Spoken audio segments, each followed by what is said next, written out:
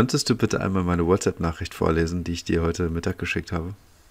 Die du mir heute Mittag geschickt hast, also in. Äh also von die von vorhin, die du äh, direkt gepostet hast. So. Was ich übrigens ähm, in all meiner weisen Voraussicht schon fast geahnt habe. Also ich muss dazu sagen, ich hatte ein bisschen Angst. Daniel schrieb mir aus heiterem Himmel, bitte bereite äh, heute Abend eine neue Folge vor und bringe Flexibilität und Offenheit für Neues mit. Und das warf Fragen bei mir auf. Ähm, ich habe dann nachgefragt, was er vorhat. Und er sagte, ich werde an dieser Stelle nicht mehr weiterreden. Du bereitest bitte diesbezüglich nichts anderes vor. Und ich meine, es konnte wirklich nur eigentlich in meinem Kopf um einen OnlyFans-Account gehen. Ich habe gedacht, Daniel will das melden. ähm, jetzt, wo die Fans unsere Gesichter, die Fans, die Zuhörer unsere Gesichter kennen, äh, willst du all in gehen und äh, auch unsere Ärsche verkaufen. das wäre dann wahrscheinlich irgendwie so, keine Ahnung, der am schlechtesten laufende OnlyFans-Account ever und wir würden dann dafür irgendwelche Preise abräumen oder so. Oder auch nicht. Okay, aber das beantwortet ein bisschen die Frage, ähm, die ich dir jetzt eigentlich gestellt hätte, nämlich was du denkst, was es damit auf sich haben könnte. Oder was, was das bedeuten sollte. Ja, also, Mal ganz realistisch gesprochen. Okay. Was denkst du, warum ich das gesagt realistisch habe? Realistisch gesehen wusste ich, dass es wahrscheinlich nichts mit OnlyFans zu tun hat. Ich habe vielleicht ein bisschen gehofft, dass es das hat, aber realistisch natürlich nicht. Ähm, es gab zwei Möglichkeiten für mich. Entweder du hast irgendwie eine neue Rubrik am Start für dich, die du irgendwie überlegt hast, oder du möchtest über eine generelle Erweiterung unserer Themenvielfalt irgendwie mit mir sprechen. Aber ich habe keine Tendenz, ehrlich gesagt. Ja, okay, alles klar. Aber warte ganz kurz, bevor du antwortest, die obligatorische Vorbereitung. Jetzt bin ich offen für, deine, für deinen Input. Ah ja, warte ganz kurz, meine obligatorische Vorbereitung.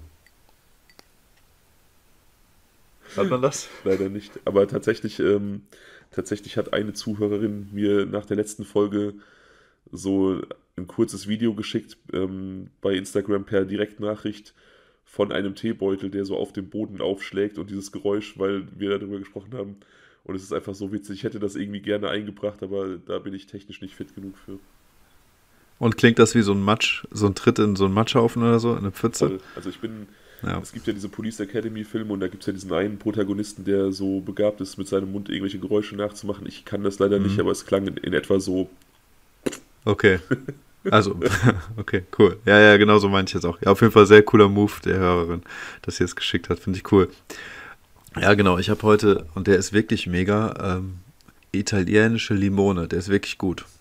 Also kann ich, ähm, kein Product Placement, den, aber der ist lecker. Hast du den erstanden? Keine Ahnung. Irgendwo im Supermarkt, der ist äh, so ein Standard ah, okay. von diesem Hersteller mit M oder so. Ja. Guck mal, findest auf jeden Fall. Okay. Ähm, genau. Aber ähm, dann habe ich direkt noch eine zweite Frage. Ähm, und ich glaube, du kannst es erklären. Was ist Suspense? Suspense.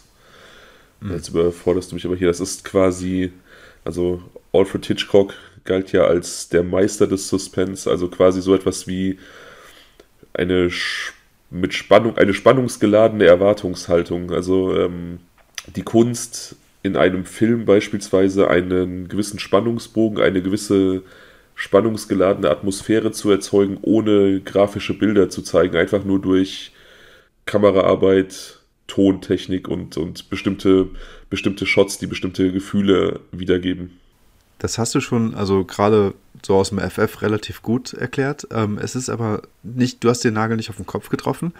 Bei, aber es geht um Hitchcock, damit warst du schon mal richtig. Es, du warst sehr, sehr warm. Und ähm, aber es war noch nicht heiß. Also bei ähm, Hitchcock ist es so, er hat das im Prinzip so aufgezogen, dass der Zuschauer immer etwas mehr wusste als die Protagonisten. Hm. Und dass er damit Spannung aufgebaut hat. Das heißt also, ähm, die Zuschauer haben schon irgendwas gesehen, das der Protagonist oder die Protagonistin im Film noch nicht kennt. Und deswegen wissen die zum Beispiel, geh jetzt nicht diese Treppe hoch, da wartet der Mörder. Oder, weißt du, geh nicht in den Keller. Oder ach du, da hinten äh, liegt eine Bärenfall auf dem Boden, was auch immer. Ja? Okay, eine Bärenfalle gab es, glaube ich, nie bei Hitchcocks Film, aber das ist das Prinzip. Die Zuschauer wissen etwas, das, der, ähm, das die Hauptdarsteller noch nicht wissen. Okay.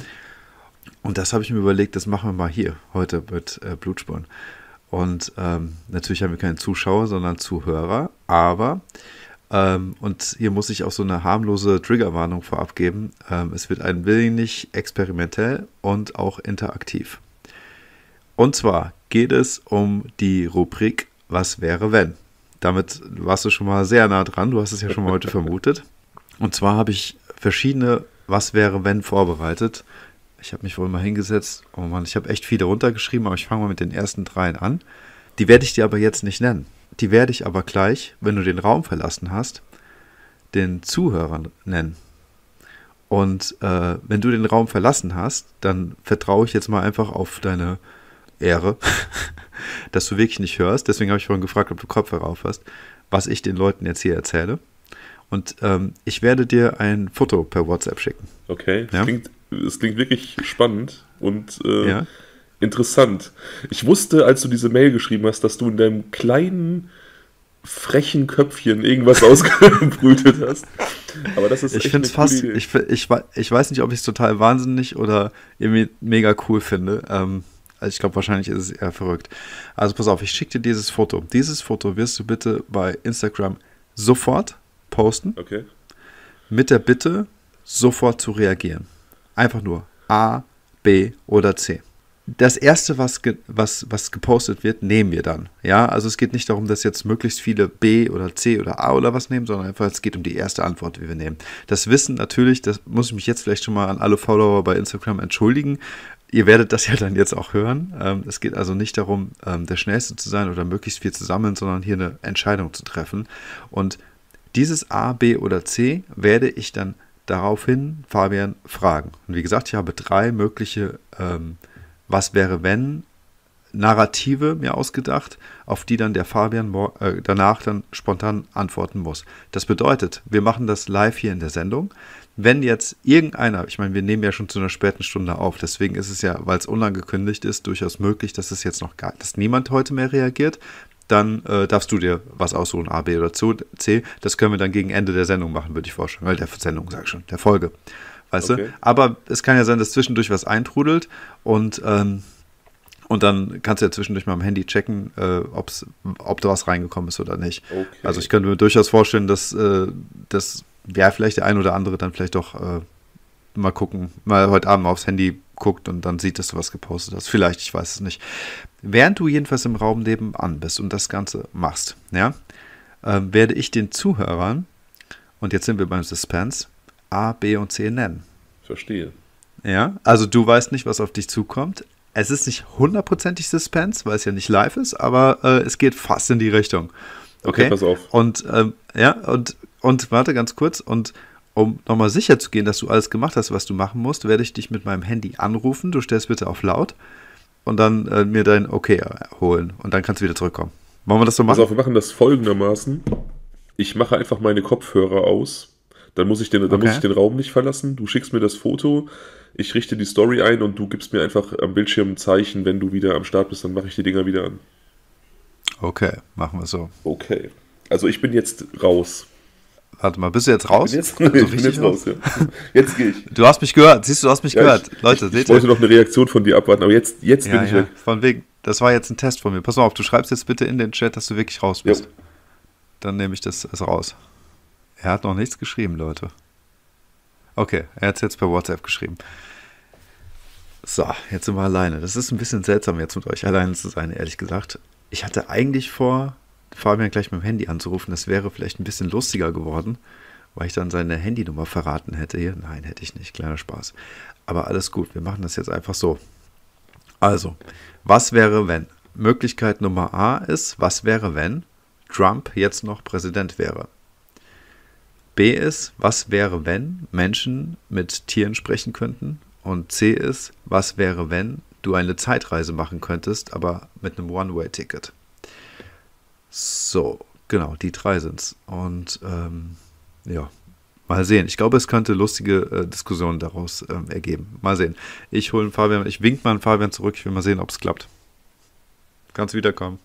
Ja, okay. Also du bist durch mit deinen Szenarien, ja? Ja, ich bin durch. Cool. Hast du irgendwas gehört? Ich habe nichts gehört. Dann schick mir bitte das Bild, damit ich das. Kannst du Lippen ablesen? Also habe ich vergessen. Ich bin, Kannst du Lippen ablesen? Ich bin kein Lippenleser. Sorry, nein. Ich bin kein Lippenleser. Okay, und Und ich bin ganz schlechter Multitasker. Ich habe mich vergessen, dass ich das Bild schicken wollte. Ist egal, warte. wir nehmen jetzt einfach die Stelle raus. Ah, warte, und zack. Okay. So, ich habe das eben schnell gebastelt. Das ist jetzt. Ja. Bei so vielen Memes wollte ich auch mal eins machen. Voll gut. Warte. Ich poste das. Ah, das ist so kacke jetzt hier. Wie gesagt, die Stelle, das, das schneide ich dann. Okay, ich habe es gepostet. Jetzt bin ich gespannt, ob da drauf reagiert wird und was du dann da für Szenarien genannt hast. Ich bin auch sehr gespannt, ob das Ganze funktionieren wird. Ja, also das kam jetzt ja wirklich aus dem Nichts. Ich finde die Idee aber mega, aber wenn wir das dann bei den nächsten Aufnahmen irgendwie ein bisschen längerfristig ankündigen und ein bisschen gezielter umsetzen, dann äh, wird sich das bestimmt cool einspielen. Weil, aber ich mag das. Ich mag dieses Szenario, dass ich auch nicht weiß, was auf mich zukommt. Ja, ich glaube auch. Also ich meine, man hätte ja streng genommen äh, das so ein bisschen ankündigen können, dass wir heute Abend recorden, aber es, ja, manchmal klappt es halt und manchmal nicht. So, es kommt spontan was dazwischen, deswegen dachte ich mir, es ist jetzt irgendwie so vielleicht schlauer. Auf jeden Fall. Das ist ja immer so ein bisschen, da das ja hier keine professionelle Produktion ist und wir das hier so unter uns ausmachen, äh, kann halt schon was dazwischen kommen. Ich habe mit der Zuhörerin gesprochen, die die erste Zuhörerfolge mit bestreiten wird. Cool. Und äh, wir haben das nächste Wochenende ins Auge gefasst, weil das ähm, für sie gut passt ähm, von ihrer Arbeit und Freizeitgestaltung her. Und ich habe auch frei. Ich hoffe, dass es dann gut laufen wird, dass du auch Zeit hast. Ich würde dann jetzt diese Woche nutzen, ihr so ein bisschen ähm, so auf den Weg zu geben, wie wir das machen, was, was sie beachten muss und wie wir vorgehen. Ja, sehr cool. Ich freue mich drauf. Ich mich auch, definitiv. Folge 19 heute schon, das ist auch äh, crazy, finde ich. Ähm, ja, voll. Ich habe eben so, weiß ich nicht, bei, bei Spotify bin ich manchmal so durch unsere Folgen ge gescrollt und habe gedacht, ey, wir haben echt mittlerweile schon einen ordentlichen Katalog zusammengestellt für, ja, dafür, dass wir so, wie gesagt, so ohne große Planungen irgendwann mal losgelegt haben. Ja, mittlerweile kann man wirklich richtig scrollen. ja, es sind nicht nur so zwei, drei, die man so hin und her bewegen muss. Ne? genau, genau. Und dann daraus schnell ein GIF basteln, damit es noch viel aussieht. Ja. Ja, heute gibt es einen Cold Case. Ich hatte ja abstimmen lassen. Äh, letzte Woche mhm. hatten wir einen Serientäter. Heute Cold Case und dann nächste Woche den in Anführungsstrichen normalen Mordfall.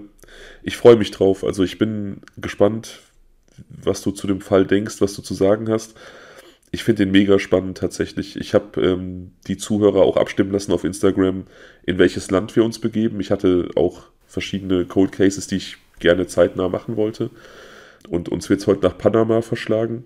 Also wir bleiben quasi in der Region des letzten Falles. Panama grenzt ja direkt an Kolumbien an. Also Kolumbien bildet die nördliche Spitze Südamerikas und Panama ist dann der erste Teil dieses länglichen Landkorridors, der von Südamerika Richtung, Richtung Mexiko, Richtung Nordamerika hochgeht.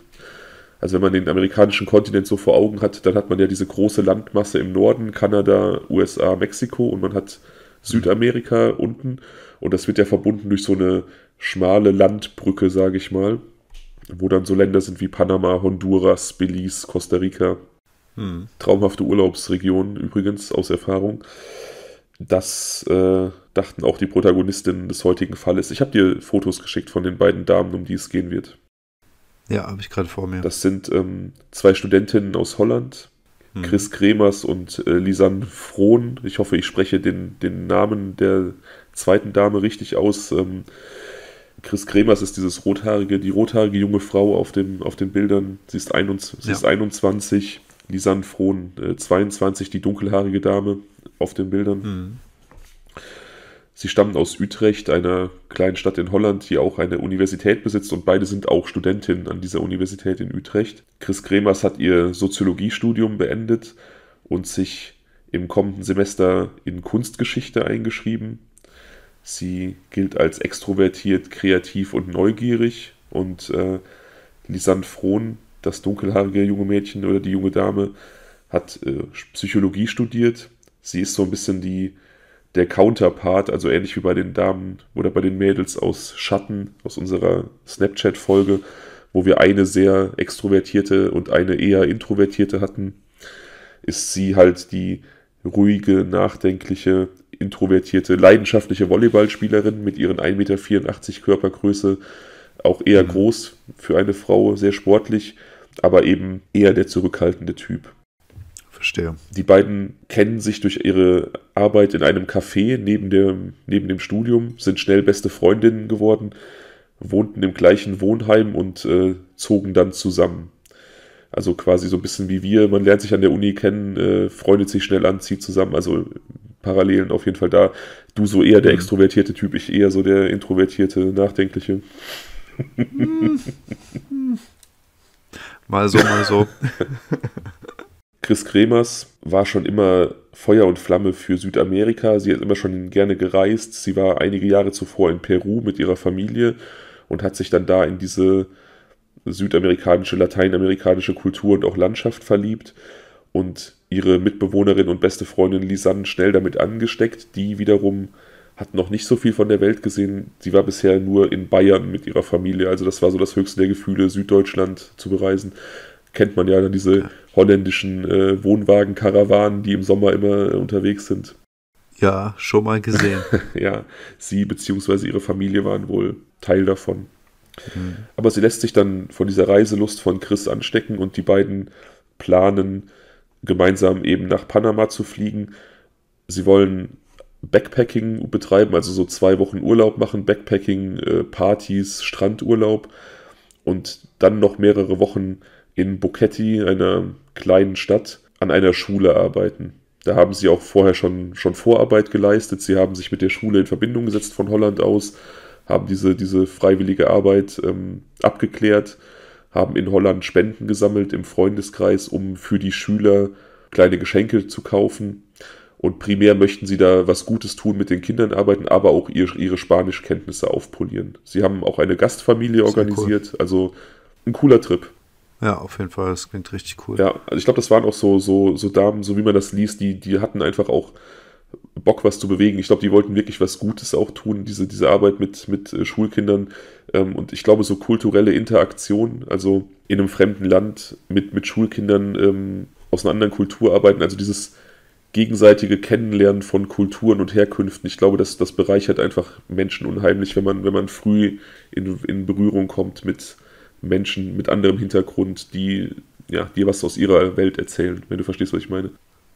Hundertprozentig. Ich glaube auch, dass es ähm, extrem wichtig für die Persönlichkeit eines Menschen ist, weltoffen zu sein und halt darüber hinaus auch äh, ja, die Welt kennenzulernen oder Kulturen kennenzulernen. Also Ne? Also ich glaube, alles, was irgendeine Bereicherung ist und dann den Horizont erweitert, das kann einfach nur von Vorteil sein. Absolut. Da gehe ich vollkommen mit. So machen sich die beiden dann am 15.03.2014 äh, auf den Weg von Amsterdam nach Panama in die Region Bocas del Toro in Panama eben, wie gesagt. Und wie geplant verbringen sie die erste Zeit dort mit dem klassischen Backpacking. Sie erkunden das Land, sie ziehen von Strand zu Strand, sie sind auf Partys, sie lernen Leute kennen, andere Touristen kennen und haben einfach so die Art von, von guter Zeit, die man in dem Alter einfach hat auf so einem Trip. Wie gesagt, ist diese Arbeit an der Schule in Boketti schon vororganisiert gewesen. Sie kommen dann äh, Ende März dort an, bei ihrer Gastfamilie, erreichen die Schule Dort wird ihnen allerdings gesagt, dass sie bis zur nächsten Woche warten müssen. Sie sind zu früh oder es gab da irgendwelche Probleme in der Terminabsprache. Sie können noch nicht anfangen, sie müssen eine Woche warten. Finde ich tatsächlich ein wenig seltsam. Ich denke, so zwei freiwillige Helfer, die wahrscheinlich auch unentgeltlich arbeiten, die kriegt man eigentlich immer irgendwo unter. Aber ähm, in diesem. Ja, hätte ich jetzt auch gedacht. Also ich finde es total seltsam. Oder also ich habe das, bin ich so ein bisschen drüber gestolpert. Das hat mit der Story an sich nichts zu tun. Aber ähm, ich, ich fand es einfach komisch, dass man da so unflexibel war. Da kommen Leute so äh, über die, um die halbe Welt geflogen und weil die ein paar Tage zu früh da sind, lässt man sie erstmal warten. Wobei du auch nicht weißt, ne, was die im Vorfeld vereinbart haben. Also zum einen, also denke ich mir, so diese südländische Pünktlichkeit plus minus ein paar Tage Mentalität könnte ja vielleicht so ein Faktor sein. Und auf der anderen Seite ähm, weiß sie auch nicht, also das ist ja das Projekt der Mädels gewesen. Das ist ein cooles Reisekonzept, keine Frage. Aber du weißt ja nicht, inwieweit die was mit den anderen auch vereinbart haben, beziehungsweise anders gesprochen, ob die andere Seite jetzt äh, aus Buketti eben auch so, äh, so, so d'accord war mit dem Vorhaben. Safe du? waren die das. Also es ist, es ist relativ häufig, dass man, dass man, es gibt auch Projekte in Afrika, es gibt viele Projekte in Südamerika, die eben so, so Reisende dann aufnehmen und für bestimmte Zeit im Unterricht einsetzen oder für andere Kleinigkeiten. Also dieses Konzept von, von Work and Travel und auch an Schulen arbeiten ist relativ verbreitet und das wird mit denen auch ganz, ganz klar abgesprochen gewesen sein.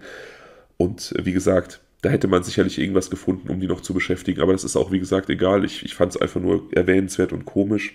Hm. Unterm Strich, die beiden müssen knapp eine Woche warten und haben jetzt auf einmal sehr viel Freizeit zur Verfügung, die nicht eingeplant war. Lisanne ist davon ziemlich äh, enttäuscht. Ich glaube, sie war so jemand, die einfach Dinge gerne sehr klar durchgeplant hat und so Rückschläge einfach ähm, schwierig fand. Hat dann auch ihrer Familie geschrieben, dass sie sehr enttäuscht ist von dieser, durch diese terminliche Verschiebung. Aber die Gastmutter, bei der sie untergekommen sind in Buketti, kann sie quasi dazu bewegen, diese Zeit noch zu nutzen, die Gegend besser kennenzulernen. Und sie schlägt ihnen diverse Aktivitäten vor, die man dort abhalten kann, also die man da starten kann. Mhm. Am 1.4. nehmen die beiden ein Taxi zum sogenannten El Pianista Trail. Das ist ein Weg, der über acht Kilometer erst durch Felder und dann immer mehr ansteigend durch äh, leichte Gebirgslagen und durch den sogenannten Nebelwald, ein Urwaldstück, bis hin zu einer Aussichtsstelle führt, El Mirador, von der aus man bei gutem Wetter beide Ozeane sehen kann, die das Land, also die an Panama angrenzen. Also es muss ein wunderschöner Ausblick sein. Ein Foto liegt dir vor, das habe ich dir geschickt, das ist bei El Mirador aufgenommen, das ist da, wo die beiden auch offenkundig auf so einer Bergspitze ähm, stehen. Ja. Das ist das zweite, was ich dir geschickt habe. Also das erste war so ein, ein Strandbild aus Panama, aus dieser Backpacking-Zeit, wo sie unterwegs waren. Und das zweite ist auf diesem El Mirador. Ja. ja. Ja, sehr cool.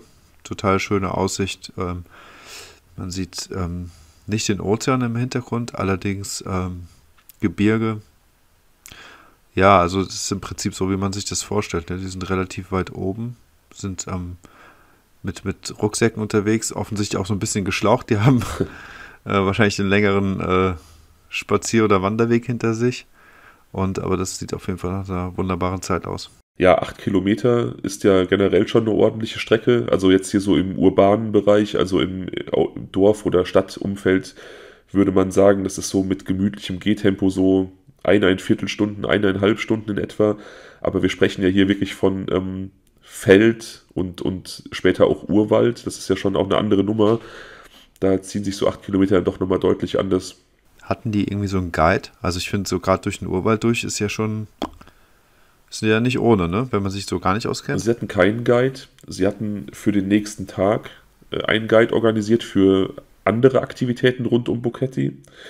Der El Pianista Trail gilt als relativ touristen- und wanderfreundlich. Also da braucht man nicht unbedingt einen Guide, der ist gut, gut äh, ausgeschildert und El Mirador bildet auch so den Endpunkt. Also man kann da im Prinzip, geht der Trail da nicht weiter, man muss also quasi umkehren und zurückgehen. Das ist so ein bisschen narrensichere Sache eigentlich. Okay. Sie hatten aber etwas anderes. Sie wurden begleitet von Blue. Blue ist der Hund, der den Besitzern eines Restaurants am Fuße von El Pianista gehört. Und Blue begleitet einfach unheimlich gerne Touristen. Also das ist offensichtlich gang und gäbe, dass da Leute kurz in diesem Restaurant Rast machen, was essen, was trinken, diesen El Pianista hochwandern und wieder zurückkommen. Und Blue hat es sich irgendwann angewöhnt, die Touristen mit hoch zu El Mirador zu begleiten und dann wieder zurückzukommen mit ihnen. Das war dann auch für die Besitzer vollkommen okay, weil der Hund irgendwie immer wieder zurückkam und die Touristen fanden es, glaube ich, auch ganz cool. Und Blue kehrt an diesem Abend allerdings alleine zurück zu seinen Besitzern. Und das finden die erstmal komisch. Allerdings kennen die diese Mädels natürlich nicht. Also die konnten jetzt nicht einschätzen, ob sie sich Sorgen machen müssen, aber das ist erstmal schon mal so eine erste komische Begegnung, dass, sie, dass der Hund alleine nach Hause kommt und sie hatten eigentlich den Eindruck durchaus, dass die einfach wieder zurückwandern würden, dass sie den Hund auch abliefern würden. Sie sagen der Gastfamilie Bescheid in Buketti und die suchen auch so ein bisschen nach den beiden Damen, weil sie die auch eigentlich nicht so erlebt haben, dass die einfach ähm, von so einer Reise nicht oder von so einem Ausflug nicht zurückkommen, sondern eher so sich an Absprachen halten. Und sie hatten halt gesagt, wir wandern hoch, wandern wieder runter und sind abends wieder zurück. Und ähm, deswegen sucht die Gastfamilie so ein bisschen nach denen, aber noch nicht im großen Stil, weil, naja, gut, die sind jetzt halt ein paar Stunden verschwunden und es, es muss ja nicht unbedingt was Schlimmes passiert sein. Am 2.4., also am Morgen des nächsten Tages, sind die beiden allerdings noch immer verschwunden. Tourguide F. Also ich kann leider, konnte ich keinen, keinen Namen dieses Herren rausfinden. Er wird immer nur ähm, F genannt. Hm. Tourguide F, der einen Termin mit den beiden hatte, erscheint bei der Gastfamilie und erklärt, dass er einen Termin hat, dass er irritiert ist, dass die beiden nicht da sind und dass er sich Sorgen macht und bittet, im Zimmer der jungen Frauen nach Hinweisen suchen zu dürfen, wo sie sich aufhalten könnten. Ja. Finde ich persönlich auch ein bisschen strange. Also, wenn ich mich da reinversetze, wenn ich irgendwie Tourguide wäre oder Touristenführer, was auch immer, und meine, mein Appointment würde mich versetzen, dann würde ich wahrscheinlich nicht nachforschen. Ich würde mir denken, was für Arschgeigen und da nicht großartig drauf eingehen. Aber ganz bestimmt nicht würde ich deren Zimmer durchsuchen nach Hinweisen, wo die möglicherweise sein könnten. Das finde ich sehr übergriffig fast schon.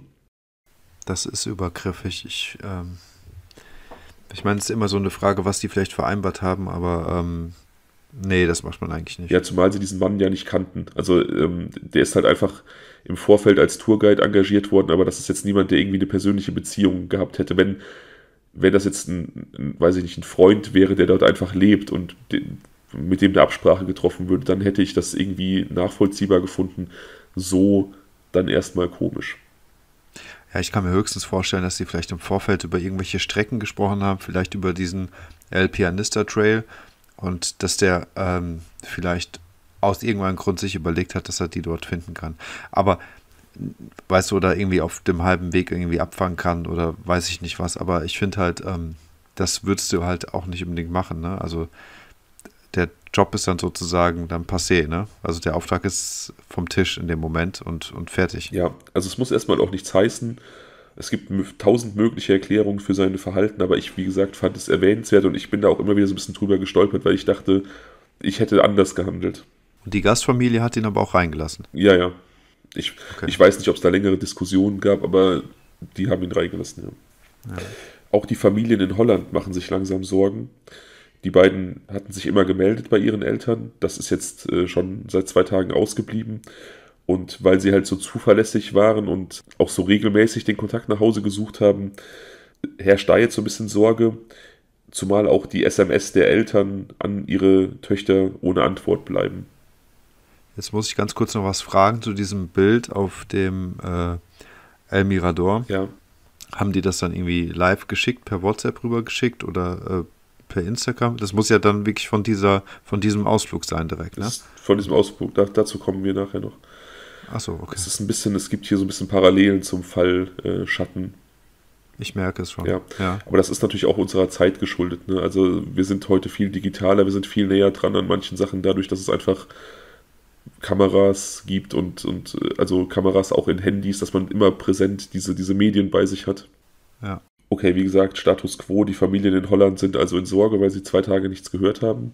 Das ähm, passt nicht zum bisherigen Verhalten der Töchter und die SMS der Eltern, die nachfragen, wie es ihnen denn geht, bleiben ohne Antwort.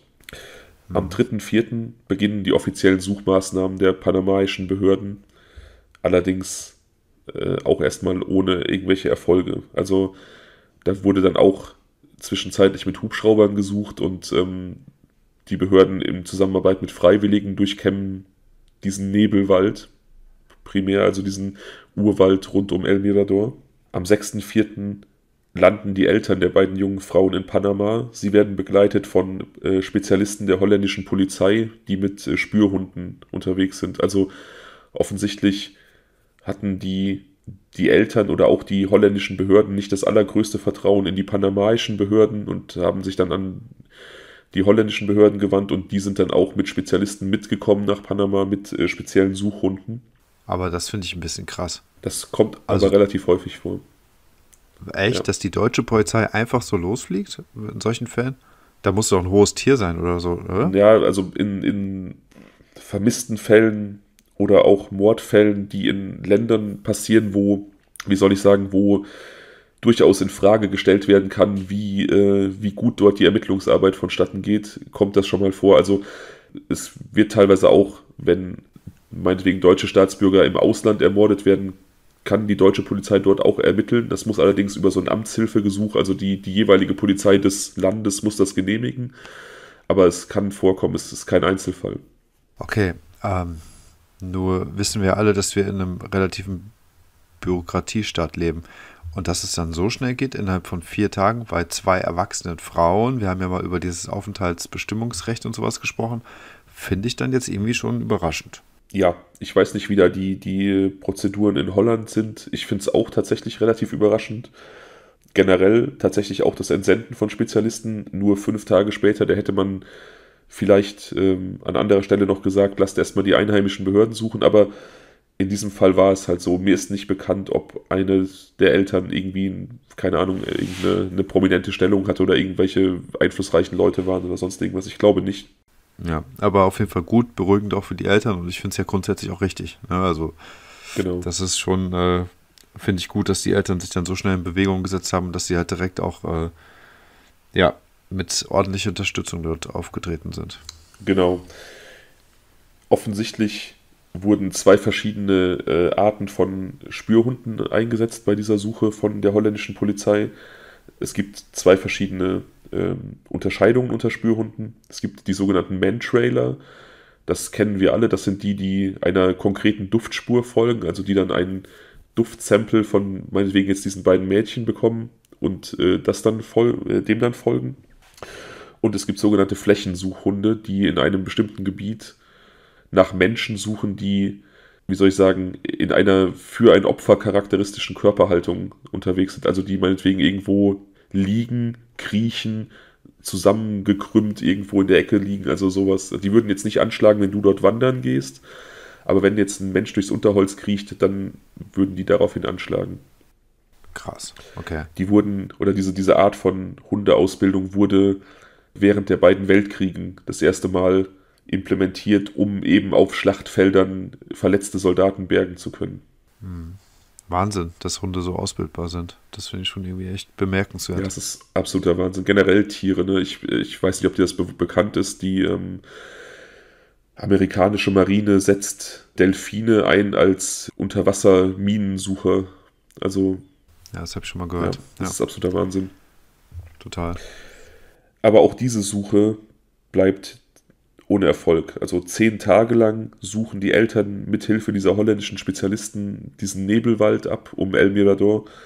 Es gibt keine Spur, keinerlei Hinweise, nichts. Also selbst die Hunde finden keine Spur. Nun muss man natürlich dazu sagen, äh, wie gesagt, diese Flächensuchhunde, die schlagen auf Menschen an, die in diesem konkreten Bereich irgendwie sich in diesem spezifischen Verhalten zeigen. Und Man-Trailer sind eben auf eine Spur angewiesen. Und natürlich ist das je nach Beschaffenheit der, der Umgebung, wenn dort viel Niederschlag herrscht äh, oder die Wetterbedingungen ungünstig sind, dann verliert so eine Spur sich natürlich unter Umständen schneller. Hm. Also wir wissen nicht so richtig, ich bin kein Experte, wie sich so eine Duftspur in diesem äh, subtropischen Klima hält. Aber diese Flächensuchrunde müssen ja auf jeden Fall doch auch irgendwie erstmal nach Duftspuren suchen, oder? Oder haben die jetzt wirklich, nehmen die jetzt nur rein visuell wahr? Ähm, ich glaube, da geht es um visuelle Wahrnehmung, aber auch um, um bestimmte ähm, charakteristische Töne. Also, ja, okay. Also die suchen nicht nach einer konkreten Duftspur. Ja, okay. Dann könnte ich mir fast vorstellen, dass in so einem, äh, ich nenne es mal Unterholz teilweise im Dschungel und so, so eine Kombination doch eigentlich sehr sinnvoll gewesen wäre. Also sowohl nach menschlichen Duftstoffen zu suchen, als eben auch nach diesen Tönen und, und, und Bewegungsmustern. Ja, und. Weil, also, ne, man muss ja jetzt quasi, bevor man die Nadel im Heuhaufen äh, äh, findet, muss man vielleicht erstmal einen Heuhaufen suchen. Genau, und deswegen, wie gesagt, ähm, gibt es halt diese Information, dass diese Spezialisten vermutlich beide Arten von Hunden dabei hatten. Okay. Aber dieser Einsatz ist dann halt auch äh, ohne Erfolg zehn Tage lang, wie gesagt, die Suche. Ich denke, wenn man zehn Tage so ein, so ein Waldgebiet absucht, mit Hilfe der einheimischen Behörden, auch mit Hilfe von Freiwilligen, mit Spezialisten, mit Hunden und einfach keinerlei Spur sich zeigt, dann ist das schon, das ist bestimmt sehr niederschmetternd für die Eltern gewesen. Ja, total schrecklich. Also ein fremdes Land, ne, so komplett woanders und ähm, man, man kann sich ja alles Mögliche vorstellen. Also gerade bei so einer Naturtour weiß ja auch nicht, ob es da nicht irgendwelche Schluchten dann doch gibt oder keine Ahnung was, ja. wo einfach auch ein Unfall geschehen könnte. Ja. Ich ähm, schicke voraus, wir, du weißt ja, es handelt sich um einen Cold Case heute. Ja. Die panamaischen Behörden haben das Ganze in Retrospektive dann als Unfall gewertet. Ich bin aber sicher, dass da ein Verbrechen geschehen ist und ähm, ich werde dir auch erklären, wieso. Also ich werde dir das dann im Laufe der, der, der Fakten auch näher bringen. Okay. Zehn Wochen nach dem Verschwinden der beiden findet die Angehörige oder eine Angehörige eines lokalen Stammes Nähe der Ortschaft Alto Romero einen schwarzen Rucksack. Der steht am Rande eines Maisfeldes und sie ist absolut sicher, dass er am Vortag noch nicht da gewesen ist. Diese Ortschaft ist auch eher schwer zugänglich, also auch jetzt nichts, wo man so als Wanderer mal ebenso vorbeikommt, sondern man muss es eigentlich kennen, um dorthin zu kommen. Und diese Ortschaft liegt auch nicht auf dem Weg beim El Pianista Trail. Nee, sie ist ein ganzes Stück weg, ja. Ganz Stück weg, ja. okay. Diese Dame, die diesen Rucksack findet, gibt ihn dann geistesgegenwärtig bei den Behörden ab und es stellt sich schnell raus, dass es der Rucksack von Lisanne ist. Also zehn Wochen nach dem Verschwinden der Mädchen. Ja. Er ist sauber, trocken und absolut intakt. Was ja nun nicht dafür spricht, dass er zehn Wochen irgendwo im Urwald gelegen hat. Nee, überhaupt nicht. In ihm findet die Polizei zwei gefaltete BHs, zwei Sonnenbrillen, eine Wasserflasche, einen Pass, also den Pass von Lisanne, ihre Krankenversicherungskarte, 83 Dollar sowie die beiden Handys der Damen und eine Kamera. Die sind allerdings, ähm, also Handys und Kamera sind aus, sind ohne Strom, können erstmal noch nicht ausgewertet werden, aber sie sind halt in diesem Rucksack. Aber an für sich, mal abgesehen von beiden Handys, ähm, Wobei nicht ganz. Man muss jetzt mal sagen, also mich wundert es jetzt gerade, dass beide Handys in dem Rucksack von Lisanne drin sind. Was ich jetzt erstmal für sehr unnormal gehalten habe, weil man hat ja eigentlich sein Handy bei sich selbst. Dann habe ich aber meinen Gedanken schon wieder verworfen, weil mir nämlich bei ähm, ja, äh, Betrachtung dieses Fotos doch aufgefallen ist, dass die Chris äh, da einen schwarzen Rucksack trägt und Lisanne keinen Rucksack. Also könnte ich mir vorstellen, dass die sich den Rucksack einfach geteilt haben und ähm, deswegen auch zwei BHs und zwei Handys. Und wenn alles gefaltet ist, dann schreit das für mich eigentlich danach, dass die äh, noch quasi, der Inhalt quasi so darin liegt, wie er befüllt wurde. Ja, genau. Also ich denke auch, dass, ähm, dass da ein Rucksack geteilt wurde. Das macht ja auch Sinn, wenn man mit relativ leichtem Gepäck äh, reist, dass man sich da abwechselt. Und für mich deutet auch diese, diese Auffindesituation, das Geld, ähm, die gefalteten BHs darauf hin, dass der wahrscheinlich genauso befüllt wurde, ja. Es gibt Fingerabdrücke, DNA-Spuren und verschiedene Erde auf dem, auf dem Rucksack. Also wir wissen ja, oder du weißt es höchstwahrscheinlich, denke ich, dass man durchaus auch solche Sachen wie Erdproben einer gewissen Region zuordnen kann. Also wenn ich jetzt irgendwo Erde finde ähm, und ich habe Vergleichsproben, kann ich das genau zuordnen. Ja. Diese Spuren werden allerdings nicht ausgewertet und nicht verfolgt, weil die Behörden zwar ein Verbrechen für möglich halten, aber am ehesten von einem Unfall ausgehen, also da jetzt dann keine aufwendigen Untersuchungen anstellen. Also all diese Spuren, die da vorhanden sind, fallen quasi erstmal weg. Okay, aber hat man dann die, die Spuren gesichert? Nein. Ah. Also sie waren da, man hat das irgendwie äh, katalogisiert, dass es dort diese Spuren gab, hat die aber nicht gesichert und auch nicht weiter ausgewertet. Dann folgt die Auswertung der Handys, also man kann diese Handys dann irgendwie wieder ähm, nutzbar machen. Irgendwelche Spezialisten äh, können sie auswerten. Fotos auf den Handys zeigen das Erreichen von El Mirador. Also diese Fotos, die wir gesehen haben, die sind auch auf der Kamera teilweise zu finden gewesen. Also es wurden dort Fotos gemacht, scheinbar mit den Handys, aber auch mit der Kamera. Und auf beiden finden sich quasi die Dokumentation dieser, dieser Reise dorthin. Primär auf der Kamera, dazu kommen wir später. Das Handy oder die Handys zeigen allerdings noch etwas anderes. Zwei Stunden nach Erreichen von El Mirador wurde das erste Mal versucht, von Chris Kremers Handy aus einen Notruf abzusetzen. Der ging allerdings nicht durch, beziehungsweise ähm, fand keine Verbindung, weil sie vermutlich in Hektik oder Panik oder weil sie das so gewohnt war, die niederländische Notrufnummer 112 gewählt hat, das natürlich dann in Panama ähm, sinnlos ist. Ja.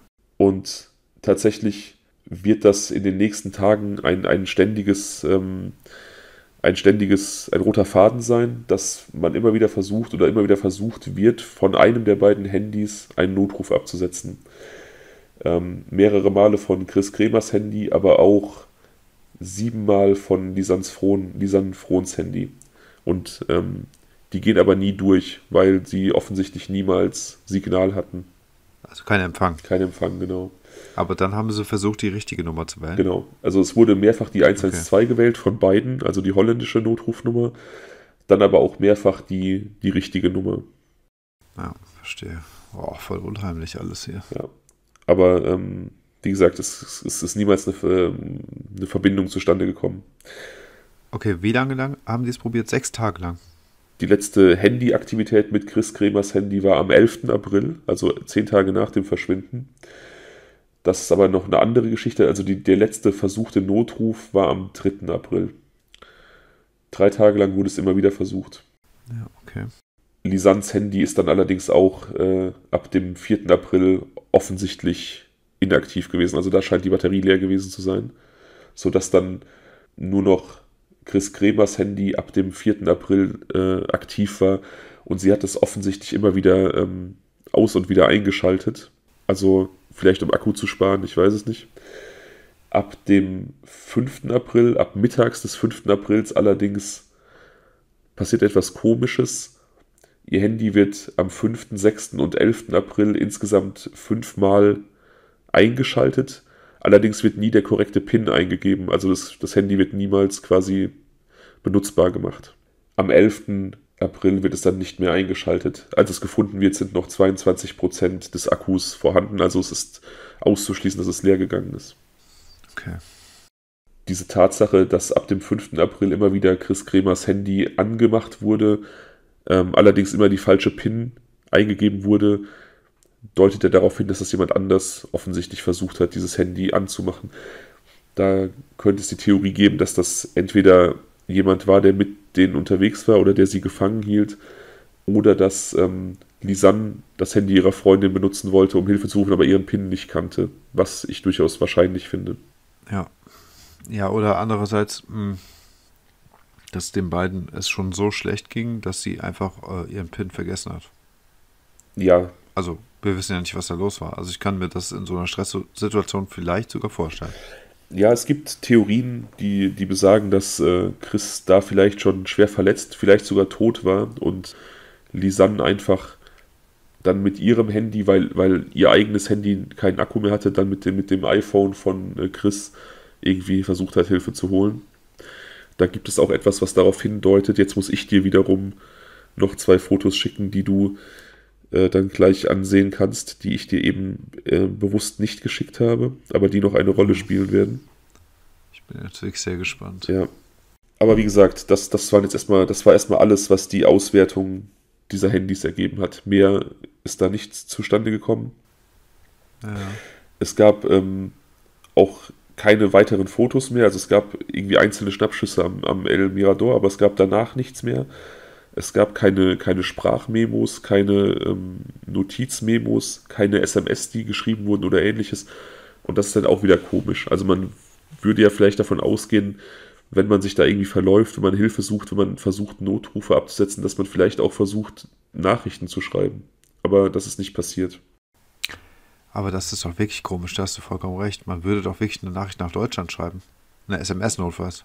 Also das, oder eine E-Mail. Also äh, Gesetz, man weiß ja nicht, was sie für einen Empfang dort hatten. Ne? Also irgendwo im Dschungel kann ich mir vorstellen, das ist vielleicht schwierig, aber also irgendein Hilferuf, ähm, das ist ja das Zweite, was du machst. Ne? Du hast das Erste, wenn du jetzt irgendwie einen Notruf äh, sendest und wenn du dort keinen erreichen würdest, dann würde ich persönlich gucken, dass ich dann irgendwelche Leute im näheren Umfeld kontaktieren würde. Was ja, oder? Ich würde, denke ich, auch eine, eine, SMS an diese Gastfamilie schicken, auch wenn ich kein Netz in dem Moment habe, in der Hoffnung, dass, ähm, wenn ich weitergehe, irgendwann ein Empfang da ist und diese SMS rausgeht. Also ich hätte auf jeden Fall versucht zu schreiben, denke ich. Ja, und wenn du jetzt wirklich drei, vier Tage ähm, verschollen wärst, dann würdest du aber auch nach Deutschland eine Nachricht schreiben. Also Holland in dem du, Fall. Äh, ja, genau. Und das, also, das denke ich auf jeden Fall. Also, ja ja, also ich glaube auch, wenn man, wenn man sich verlauft oder man kennt das aus anderen Fällen, dass Leute sich verlaufen haben in der Natur, dass die in irgendwelche schlimmen Situationen gekommen sind und befürchten mussten, dass sie nicht mehr nach Hause kommen und dass dann irgendwelche Nachrichten für ihre Familien aufgenommen oder hinterlassen wurden, weil sie halt einfach befürchten mussten, ich werde nicht mehr ankommen, ich will aber noch irgendwas hinterlassen. Ja, sowas in der Art. All das, wie gesagt, ist hier nicht passiert. Die Auswertung der Kamera beginnt daraufhin. Ja. Und sie zeigt auch Fotos der Wanderung. Die beiden sind offensichtlich sehr, sehr guter Laune. Auf diesem El Pianista bis hin zu El Mirador. Fotos zeigen die komplette Wanderung bis dorthin. Also man kann das sehr, sehr gut nachvollziehen. Fotos zeigen allerdings dann auch eine Wanderung über El Mirador hinaus. Also die beiden sind dann scheinbar weitergegangen, tiefer in den Dschungel hinein. Und dieser Trail wird eigentlich nur von Einheimischen benutzt. Also ist eigentlich so gar nichts, was Touristen benutzen. Und das finden die Eltern der beiden sehr, sehr komisch, weil das offensichtlich zwei, zwei junge Frauen waren, die, ja, die jetzt nicht unbedingt dafür bekannt waren, dass sie irgendwelche waghalsigen Entdeckertouren durchgezogen hätten. Also die waren eher so ein bisschen vorsichtiger. Ja. Allerdings führt dieser, dieser Trail, dieser einheimischen Trail von El Mirador aus zu einem kleinen Wasserfall im Dschungel. Und die Behörden denken jetzt, dass das vielleicht deren Ziel gewesen sein konnte. Vielleicht hat ihnen jemand davon erzählt, dass es dort diesen Wasserfall gibt. Vielleicht war doch noch jemand mit ihnen unterwegs oder sie haben jemanden getroffen und sie wollten dann dahin. Das ist ja auch was, ich meine, es ist ja wirklich schön, ne? wenn man sich das überlegt, so ein, so eine Dschungelatmosphäre, dann dieser, so eine Wasserfall, so, so ein kleiner See vielleicht, wo man vielleicht noch ein bisschen baden kann nach so einem äh, schweißtreibenden Aufstieg. Also ich würde mir es auf jeden Fall auch angucken. Ich hätte diese, diesen Umweg in Kauf genommen, definitiv. Ja, und das passt auf jeden Fall auch so ein, in dieses ähm, Abenteuerbild, das man einfach auf solchen Reisen erlebt oder generell auf Reisen erlebt. Also ich meine, das Schönste ist es ja einfach immer, äh, durch einen Einheimischen die Gegend kennenzulernen. Voll. Und für mich schreit das absolut danach, dass sie dort jemanden kennengelernt haben, der ihr davon erzählt hat. Ihnen. Ja, und ich denke auch, dass, dass diese eigentliche Charakterzeichnung der beiden, also dass die eher vorsichtig waren und sich eher so auf diesem Trail gehalten hätten. Ich glaube, wenn man in dieser Urlaubseuphorie ist, man hat da diesen geilen Aussichtspunkt, man hat schöne Fotos gemacht und man erfährt dann, ey, da ist noch ein, ein Wasserfall im Dschungel, so ein richtiges kleines Juwel. Ähm, ich glaube, man, man lässt sich dann in solchen Situationen auch eher treiben und, und tut Dinge, die man vielleicht im Alltag nicht unbedingt tun würde.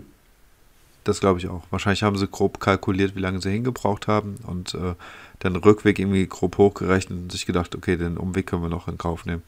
Und ähm, aber dass diese Person und diese mögliche Person nicht auf irgendwelchen Bildern zu sehen ist, könnte dann ähm, danach schreien, dass sie die Person erst später getroffen haben. Ja. Weißt du? Also, weil ich glaube, wenn das jemand ist, den du auf halber Strecke kennenlernst, dann äh, hältst du das einfach mit Fotos fest. Ne? Wenn man sich gut versteht, man sieht dann irgendwie andere Spaziergänger, Wanderer, was weiß ich, Backpacker, dann würdest du, glaube ich, dich kurz schließen, dann macht man ein Selfie zusammen oder sowas als Erinnerung. Hm. Auch dazu kommen wir nachher noch. Okay. Äh, eine Frage bei diesem dritten Bild, da geht ja die Chris auf so einen, ja, so einen kleinen Fluss, nicht Fluss, so einen kleinen Bach, der die Felsen runterfließt, äh, zu. Äh, das ist aber jetzt nicht das Ziel, wovon du gerade gesprochen hast, oder? Das ist auf jeden Fall eins der Fotos, die nach El Mirador aufgenommen worden sind, also wo es tiefer dann okay. in den Dschungel hineingeht. Ja. Und auf diesem Bild dreht uns Chris nun den Rücken zu, aber auf anderen, ja. auf anderen blickt sie in die Kamera und man sieht, also Chris geht immer voraus, Lisanne ist zurück. Und Chris sieht auf diesen Fotos nicht mehr so fröhlich aus wie am Anfang der, der Wanderung. Ähm, sie sieht eher gehetzt und besorgt aus. Jetzt ist, jetzt ist allerdings die Frage, liegt das vielleicht einfach an der Beschwerlichkeit des Weges? Oder liegt es vielleicht daran, dass sie da schon in irgendeiner Situation waren, die komisch war? Ob da jemand bei ihnen war, den sie nicht einschätzen konnte, oder ob ähm, sie durch irgendetwas, vielleicht durch Leute, die hinter ihnen auf dem, auf dem Trail waren, weitergetrieben wurden, ob sie vielleicht geflüchtet sind vor irgendjemandem, das weiß man nicht. Also das sind auch Theorien, dass sie vielleicht äh, bei El Mirador bemerkt haben, dass hinter ihnen auf dem El Pianista irgendwelche Leute waren, mit denen sie nicht in Berührung kommen wollten und dass sie dann da daher weiter in den Urwald gegangen sind. Achso, okay. Das ist natürlich auch eine krasse Theorie. Oder dass sie vielleicht irgendwas gesehen haben, was sie nicht sehen wollten. Genau. Das letzte Foto vom 1.4. auf dieser Kamera trägt die Nummer 508. Das nächste Foto ist die Nummer 510. Das heißt, ein ja. Foto wurde gelöscht, die 509 fehlt. Und das ist komisch, denn man hat diese, diese Kamera ausgewertet und Lisanne hat auf dieser ganzen Reise kein einziges Foto gelöscht. Egal wie verwackelt, egal wie unvorteilhaft Bilder waren, alle Bilder wurden behalten. Mhm. Und dieses Foto 509 wurde offensichtlich nicht nur an der Kamera gelöscht, sondern jegliche Informationen, jegliche Datenfragmente dieses Fotos sind verschwunden. Das heißt, dieses Foto muss über einen Laptop gelöscht worden sein oder einen Computer. Also es, die Kamera wurde offensichtlich an einen Computer angeschlossen oder einen Laptop und dieses Foto wurde komplett beseitigt. Okay. Es kann also nicht von den beiden im Urwald gelöscht worden sein. Und das kann jeder. Also ich wüsste jetzt nicht, wie das geht. Beziehungsweise ich würde halt klar, ein Foto löschen kann ja jeder, aber ich wüsste jetzt nicht, dass es einen Unterschied macht, ob ich ein Foto von der Kamera lösche oder von dem über den Laptop. Ja, offensichtlich macht es das. Ähm, Wusste ich vorher. Das musst du ja dann, müsstest du dann ja auch erstmal wissen. Ja. Weißt du, ich meine? Ich wollte eigentlich nur darauf hinaus, primär, dass sie das ja nicht getan haben können. Also sie hatten keinen Computer dabei und warum sollten sie auch einfach da, ähm, wenn sie sich verlaufen haben, wenn sie da unterwegs sind, warum sollten sie random irgendein Foto löschen? Man kann also ah. davon ausgehen, dass auf diesem Foto Nummer 509 ein massiver Hinweis zu finden ist, was mit den beiden passiert ist. Vielleicht tatsächlich die die Zufallsbekanntschaft, mit der man dann noch ein Selfie gemacht hat oder ähm, Leute, die einem gefolgt sind, fotografiert oder sonst irgendwas. Aber das werden wir leider nie erfahren, denn dieses Foto ist, wie gesagt, unwiederbringlich gelöscht worden. Und diese Bilder, die du mir jetzt eben gerade noch geschickt hast, sind das die Bilder 508 und 510? Nein, dazu komme ich jetzt.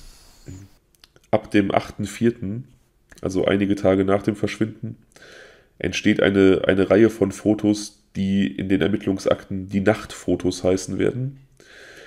Die sind offensichtlich alle in der Dunkelheit aufgenommen worden, zwischen 1 und 4 Uhr nachts. Das sind 90 Fotos und sie zeigen eigentlich nur, also auf den ersten Blick wurde da random in den Urwald hinein fotografiert. Auf allen 90 Fotos? Auf allen 90 Fotos, bis auf zwei, aber auf die komme ich auch noch.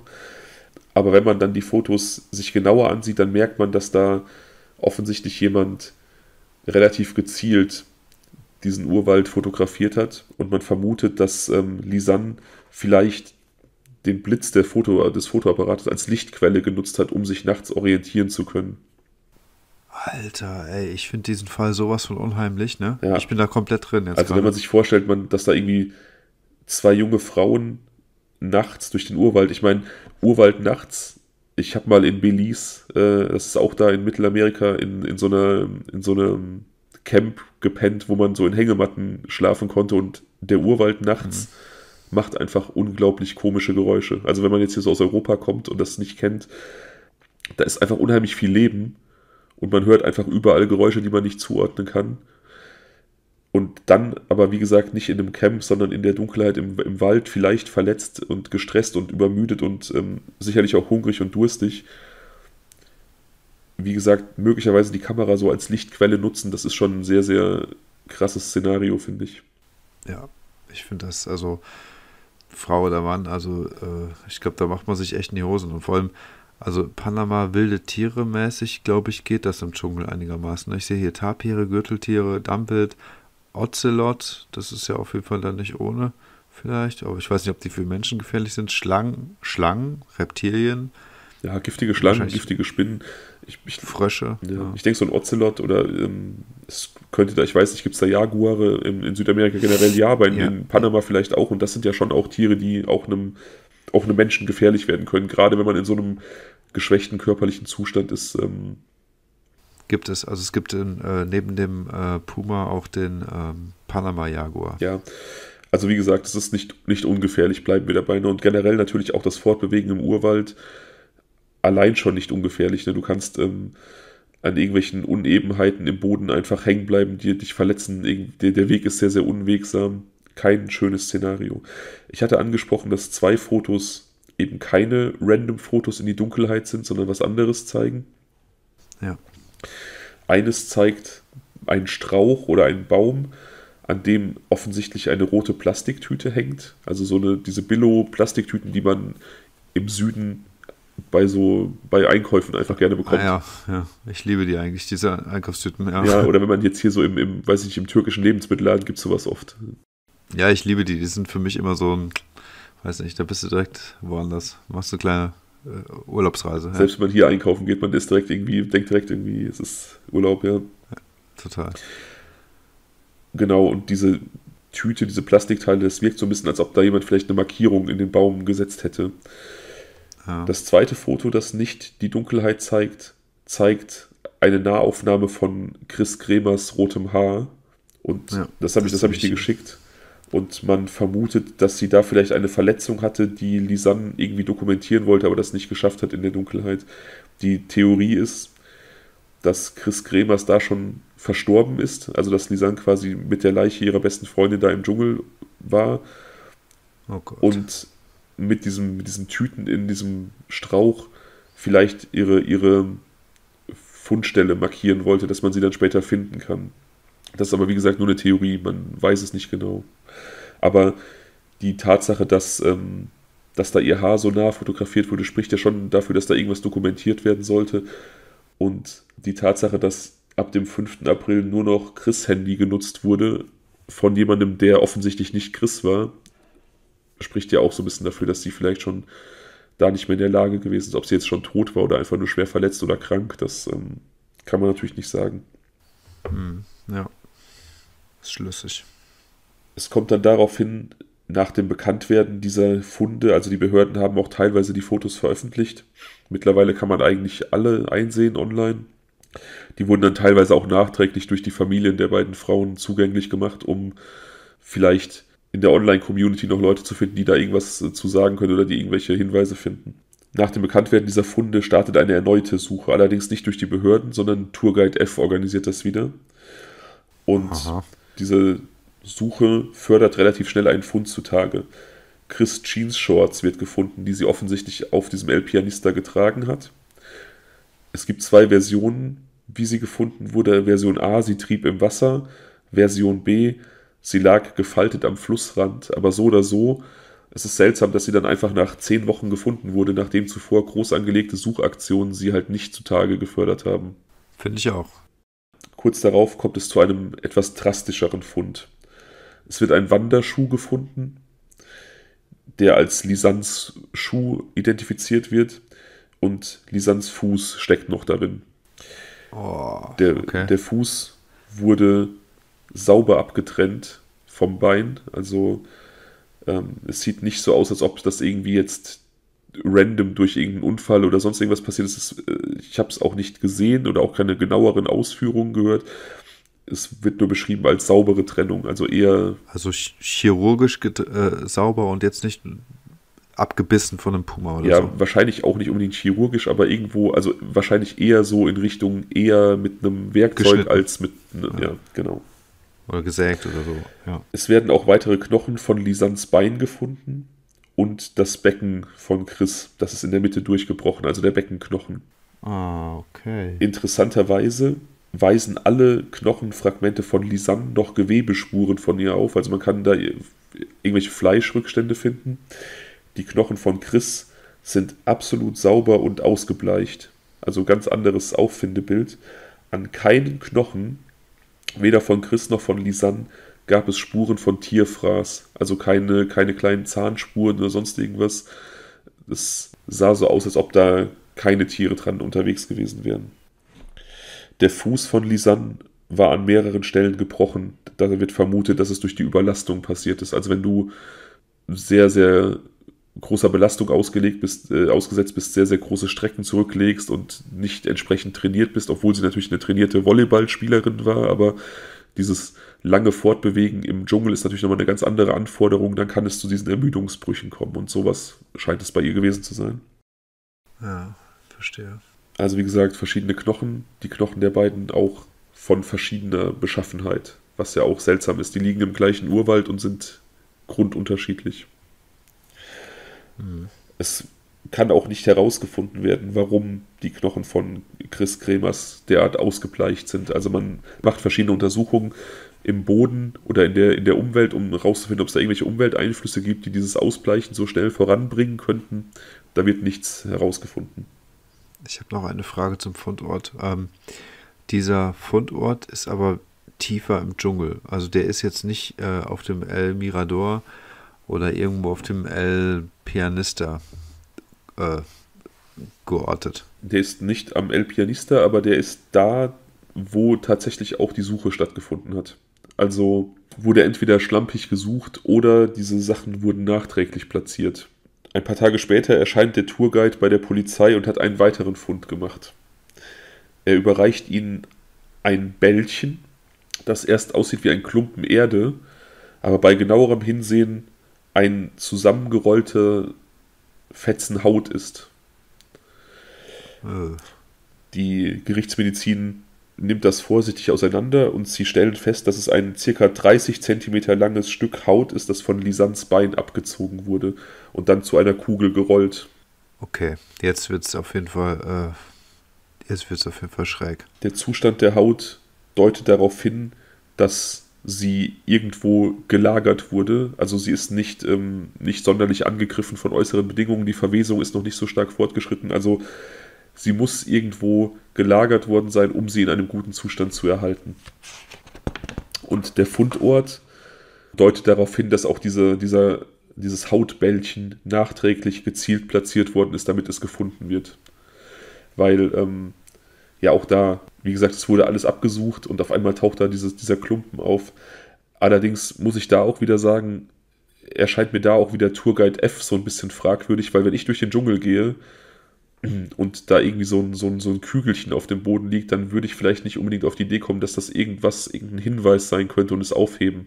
Ich, also, Nee, das scheint mir auch so ein bisschen fragwürdig. Ja, also ich kann mir schon vorstellen, dass man sowas übersehen kann. Ähm, grundsätzlich. Aber ja gut, und wenn es dann ins Auge springt, also dass es jetzt nicht mitten im Urwald irgendein Müll zwangsläufig sein muss, den der Mensch entsorgt hat, sondern dass man dann vielleicht trotzdem eher mal nachschaut, weil es einfach so naturbelassen ist, könnte ich mir fast sogar vorstellen. Ja, Aber man muss es aber erstmal sehen. Genau, man muss es erstmal sehen. Ja, soweit die Fakten. Wie gesagt, die panamaischen Behörden haben dann diese ganzen Fakten genommen und sind der Meinung, dass die beiden bei einem Unfall gestorben sind. Sie vermuten, dass die beiden äh, eine sogenannte Monkey Bridge benutzt haben. Das sind solche behelfsmäßigen äh, Überquerungsmöglichkeiten über ähm, Gewässer. Das ist krass, dass du es sagst, weil ich habe nämlich vorhin direkt an so eine Brücke denken müssen. Ich wollte, es lag mir so auf der Zunge, es zu sagen. Ja, Auf jeden Fall vermuten sie, dass eine solche Monkey Bridge benutzt wurde und ähm, die beiden dann davon abgestürzt sind.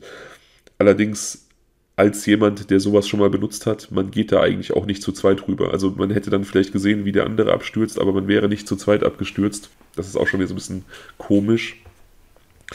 Und dieser Unfall, dieses Unfallszenario erklärt eben all diese anderen Dinge nicht. Es erklärt nicht dieses ähm, tagelange durch den Wald irren der beiden. Das erklärt nicht das gelöschte Foto, das äh, Auffinden des, des Fußes, das gebleichte Becken, dieser Hautklumpen, der ja offensichtlich abgezogen wurde von den Beinen. Das geschieht ja auch nicht durch, durch Tiereinwirkung oder durch irgendwie random Un Un Umwelteinwirkung. Das ist ja irgendwas Gezieltes. Also ich finde, ähm, die, mein, also das, dieses gebrochene Becken schreit ja schon nach einem Sturz. Und das war eben mein erster Gedanke. Es war ja auch Chris Becken, oder? Ja, oder man konnte Chris- es gar nicht zu. Doch, Chris okay. Und sie ging immer vor. Hm. Und du sagtest ja eben, man geht auf so eine Brücke allein. Und ähm, jetzt, weil eben die äh, Lisanne ja durchaus so eine überlegte war, überlegte, ähm, sagen wir mal, vernünftige Person, kann ich mir durchaus vorstellen, dass sie, ja, das ist schon schl relativ schlüssig, ne? Dass, also, dass man sagen kann, Chris ist da vielleicht einfach runtergestürzt. Lisanne ging die Brücke, natürlich hat sie die nicht mehr genommen, musste erstmal einen Weg zu Chris suchen. Und äh, irgendwie mit einer Freundin, die ein gebrochenes Becken hat, kommst du ja auch total schlecht voran. Das heißt, die haben Die kann sich nicht bewegen. Ja. die kann sich nicht bewegen. Die haben also, die hängen da fest. Und was macht man dann? Weißt du, der Tag geht langsam, es wird langsam dunkel, es wird Nachmittag, man weiß, die Nacht bricht gleich ein und scheiße, wir sind mitten im Dschungel. Ähm, dann guckst du, dass du irgendwie weiterkommst. Du gehst vielleicht mal 500 Meter nach links, nach rechts, du gehst immer wieder zurück zu dieser Person, weil du sie vielleicht schlecht transportieren kannst. Und wenn, dann kommst du halt nur wenige Meter voran. Und äh, musst vielleicht sogar nochmal irgendwo hingehen, weil du keinen Netzempfang hast und weil du irgendwie telefonieren musst. Ich finde es seltsam, dass sie nicht an andere Leute angerufen hat oder so. Aber das macht für mich noch alles total viel Sinn. Und dann hatten sie vielleicht so eine kleine Höhle. Und also das finde ich das mit unheimlichste, was wir, glaube ich, bisher bei Blutspuren besprochen haben, dass du halt dann nachts da im Dschungel bist und mit dem Handyblitz halt quasi irgendwie wilde Tiere ab, äh, ab äh, verscheuchst oder sowas. Oder halt, oder dir Licht verschaffst. Das finde ich also wirklich krass. Und, ähm, das insofern ist das für mich noch alles schlüssig. Ich kann mir sogar vorstellen, dass die äh, Chris in irgendein, keine Ahnung, besonderes kalkhaltiges Flusswasser reingefallen ist oder sowas, was dazu geführt hat, dass aus irgendeinem Grund die irgendwas Inneres, äh, Chemisches ausgelöst wurde, ähm, was dazu führte, dass die Knochen irgendwie anders waren. Weißt du? Also keine Ahnung. Ich weiß es nicht. Vielleicht waren da irgendwelche Bakterien drin oder sowas, die dann die Haut nochmal irgendwie anders angegriffen, angeknabbert haben oder sowas. Und dass sich das durch diesen Bruch, durch diese offene Wunde einfach durch den ganzen Körper verteilt hat. Das wäre für mich zumindest noch die eine Erklärung in die Richtung. Aber diesen Hautfetzen, den kann ich nicht mehr erklären. Ja, also dieses Unfallszenario, ich, ich sehe natürlich, wie die Behörden da drauf gekommen sind. Du hast natürlich vollkommen recht. Ähm, so ein gebrochenes Becken kann durchaus durch einen Sturz entstanden sein. Natürlich ist das auch ein sehr, sehr unwegsames Gelände und das sind zwei, zwei junge Frauen gewesen, die sehr unerfahren auf dieser Geländeart waren. Das heißt, es ist nicht abwegig, dass sie da Unfälle hatten. Vollkommen richtig. Das erklärt aber, wie gesagt, eben diese vielen, vielen anderen Dinge nicht. Dieses äh, gelöschte Bild beispielsweise und die, diese abgezogenen Hautklumpen, die ausgebleichten Knochen, wie gesagt, die Umwelteinflüsse dort spezifisch wurden untersucht und es wurde nichts gefunden, was da irgendwie das erklären könnte. Also, das, das sind finde ich, auch der abgetrennte Fuß, ähm, das sind eher Dinge, die, die für was anderes sprechen. Und wenn man davon ausgeht, dass da die zwei jungen Damen im Wald gestorben sind, dann hätten sich an den Knochen sicherlich äh, Spuren von Tierfraß finden lassen, weil so zwei Kadaver im Wald, natürlich wären die dann irgendwie von irgendwelchen Aasfressern auch angegangen worden. Und wir erinnern uns an die Aussage, dass dieser, dass dieser Knochen, äh, Knochen, dieser Hautfetzen offensichtlich irgendwo gelagert wurde, um eben ihn in einem guten Zustand zu erhalten, bevor er gefunden wurde. Es gibt natürlich Theorien. Und sowas wie Kannibalismus oder sowas? Also, dass die beiden sich gegessen haben. Einfach, nee, aber dass die, die Lisanne die tote Chris teilweise gegessen hat, weil sie einfach Hunger hatte nach einigen Tagen. Darauf, darauf deutet nichts hin. Also habe ich zumindest noch nie gelesen. Ähm, man kennt natürlich solche Szenarien. Es gibt da einen ganz bekannten Fall von einem Flugzeugabsturz in den Anden, ja. wo die Leute mhm. dann die, die Toten gegessen haben. Das gibt es immer wieder. Ich habe nichts gelesen, was darauf hindeutet. Es gibt Theorien, ich kann dir die kurz mal nennen, was vermutet wird.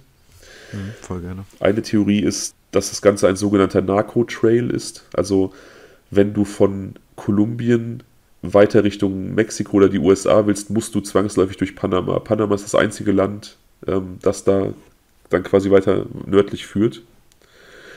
Und das heißt, irgendwelcher Landschmuggel würde sich immer durch Panama bewegen.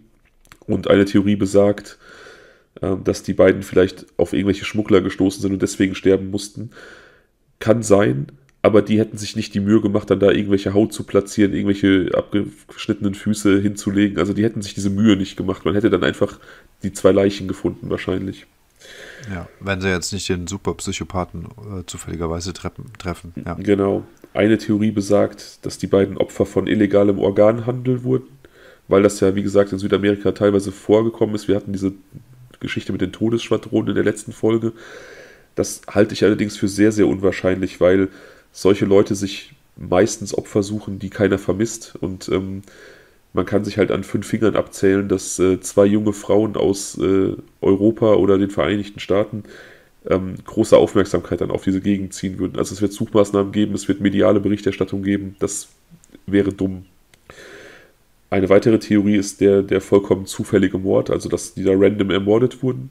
Dann geht das FBI davon aus, dass es in Panama mindestens einen aktiven Serientäter gibt, der noch nicht gefangen wurde. Also das könnte durchaus auch sein ein noch unentdeckt äh, aktiver Serientäter in Panama. Äh, aber die meisten Theorien richten sich auf diesen Tourguide. Wie gesagt, sein Verhalten ist so ein bisschen seltsam. Also dieses extreme sich einbringen in die Suche, ob bei zwei Leuten, die er gar nicht kannte, dieses Durchsuchen des Zimmers. Dazu kommt, dass er eine Ranch in der Nähe von Alto Romero hat, wo der Rucksack gefunden wurde. Und es diverse Berichte gibt von Touristinnen, europäischen und amerikanischen Touristinnen, die schlechte Erfahrungen mit ihm gemacht haben. Also dass er zudringlich wurde während irgendwelchen Touren. Ja. Und auch sein Sohn, also der Sohn des Tourguides, ist als relativ frauenfeindlicher Hitzkopf bekannt in dieser Gegend. Also auch eine Theorie könnte sein, dass dieser Sohn etwas mit diesem Toten zu tun hat und sein Vater diese, dessen Spuren verwischen wollte. Das sind also so okay. die, das sind so die gängigen Theorien, die, die existieren. Das finde ich interessant. Ähm, und ich finde halt auch gesetzt den Fall, dass das nicht alles im Dschungel passiert ist. Und äh, viele Indizien schreien danach. Ne? Also wir haben Total, ja. das gelöschte Bild, wir haben diese sauber, sauber abgetrennten Füße oder den sauber abgetrennten Fuß, wir haben dieses Stück Haut. Und das sind ja schon alles Dinge, die danach schreien eigentlich, dass es irgendwo in einem, ja, ich will nicht sagen häuslichen Umfeld, aber zumindest irgendwo abseits vom Dschungel in einer Behausung stattgefunden haben muss. Die mussten irgendwo hin transportiert worden sein. Und ähm, was für mich wiederum bedeutet, dass eigentlich im, gerade in so einer speziellen äh, Situation, also äh, dass, dass das einfach im Prinzip jemand sein muss, der dort lebt. Weißt du? Ja. Also es kann, es kann nicht irgendwie, das ist alles Dschungel, das ist alles so viel Natur drumherum und äh, es kann einfach nur im näheren Umfeld dieses Geschehens äh, kann man den, den Mörder finden, wie ich finde. Also wenn es ein Mörder war. Davon gehe ich auch aus, ja. Vollkommen. Ich, ähm, ich finde natürlich, das liegt natürlich in der Natur der Sache, weil ich ja so ein, so ein, so ein True Crime-Freund bin. Ich finde natürlich diese Theorie mit dem noch nicht äh, entdeckten aktiven Serienmörder in Panama total spannend. Also das FBI hat offensichtlich Hinweise darauf, dass da einer aktiv ist, aber der noch nicht zutage getreten ist quasi. Aber das, ja, das wäre natürlich auch sehr random, dass ausgerechnet dem dann diese beiden Frauen da ähm, in die Arme laufen. Ich, ich glaube auch, dass es da, dass es, dass die Lösung da irgendwo in diesem Gebiet zu finden sein wird. Ja. Und für, für mich persönlich, ich meine, wir, wir kennen natürlich nicht alle Fakten. Es gibt bestimmt auch vielleicht noch andere Protagonisten, die nicht aufgetreten sind. Aber anhand dieser Faktenlage ist für mich tatsächlich der Tourguide auch verdächtig. Also ich finde sein Verhalten tatsächlich auch seltsam. Und, ja, auf jeden Fall. Und man muss dazu sagen, dass diese ganzen wichtigen Funde dann irgendwann, also die, die, die Shorts von Chris, der Fuß von Lisanne, das Becken, dieser Hautfetzen, dass es alles auf ihn zurückzuführen ist. Also er hat diese Funde dann gemacht, beziehungsweise sein, seine Suche hat diese Funde zutage gefördert. Das scheint mir auch sehr, sehr zweifelhaft. Ja, und wie du schon sagst, also er hat ja nichts davon, dass er jetzt losgezogen ist, um zu suchen. Was für Beweggründe sollte er gehabt haben? Ja, wir können ihm natürlich jetzt auch super Unrecht tun. Er kann der netteste Mensch der Welt sein, der einfach aus purem, ja. aus purem Altruismus heraus diesen, diese, diese jungen Frauen suchen wollte, um vielleicht deren Familien Gewissheit zu verschaffen, wissen wir nicht. Aber das ist, ich gehe erstmal davon aus, dass er es nicht war. Ja, das, also es ist, ich, haben die den jetzt genau untersucht, den Typen? Ja, aber nicht, äh, also es hat nichts zutage gefördert. Es ist nicht so, dass, ähm, dass das irgendwelche Verdachtsmomente gebracht hätte. Ja. Okay. Oh, schade. Aber ich bleibe trotzdem dabei, dass es eigentlich jemand aus der Umgebung sein muss. Da bin ich dabei, ja. Und er, bei ihm schreit es ja wirklich danach. Das ist ja komisch, dass er immer die Sachen findet. Also es ist ja so ein bisschen wie, äh, ah, sag mal schon, wie hieß er, unser Flado Taneski. Hieß er noch? Taneski, ne? Ähm, der ja auch immer mehr wusste als die Polizei, so ein bisschen mehr, ja. ne? Oder dann zum Beispiel noch diese eine Leiche ausgekramt hat, die Frau, nach der keiner mehr gesucht hatte und sowas. Und ähm, insofern muss man sich schon fragen, welche Motive ein Tourguide haben könnte, jetzt immer wieder Beweise zu liefern. Also das ist schon ein bisschen widersprüchlich, ne? Also er sollte ja eher äh, darauf aus sein, dann Spuren verschwinden zu lassen, als er jetzt zu liefern. Bei Taneski war es ja eben andere Beweggründe. Du meinst, er wenn er der Fan Täter sein. wäre?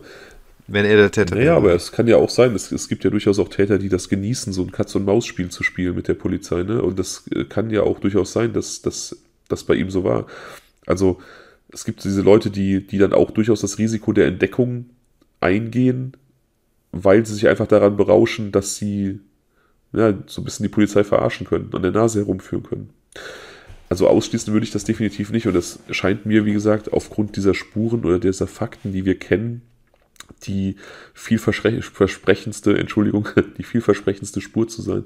Ich, ähm, also ich glaube, wie gesagt, nicht an Organhandel, ich glaube nicht an so einen Narco-Trail, das da darauf deutet, dass nicht hin, das wäre anders abgelaufen. Dann bleibt für mich halt der Serientäter oder der Tourguide, beziehungsweise sein Sohn. Unfall, wie du schon sagst, macht zu einem, zu einem bestimmten Punkt hin Sinn, aber erklärt halt eben diverse Punkte nicht. Und da ist dann definitiv ja, eine, eine fremde Einwirkung geschehen. Und dann kann man dieses Szenario, glaube ich, verwerfen. Ich habe mich auf jeden Fall sehr gefreut. Ich habe ja die, die Zuhörer auch abstimmen lassen, wohin uns denn die Reise führt für unseren Cold Case. Und ähm, ich habe mich auf diesen Fall einfach wahnsinnig gefreut, schon die ganze Zeit. Und ich war dann richtig froh, als Panama gewählt wurde, äh, weil ich den Fall einfach super, super spannend finde. Also ich finde den auch mega. Du hast mich ja vor ein paar Tagen gefragt, äh, welchen Code Case ich am liebsten äh, aufdecken würde. Ja.